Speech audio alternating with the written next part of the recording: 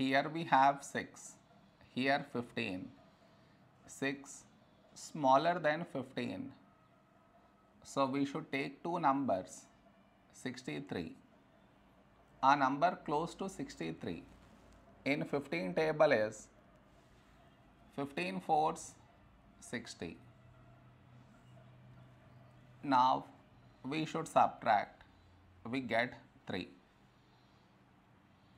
after this bring down the beside number. So 0 down. So 30 when do we get 30 in 15 table. 15 twos 30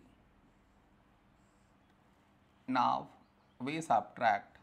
We get 0 after this no more numbers to bring it down and we got remainder 0 so this is our quotient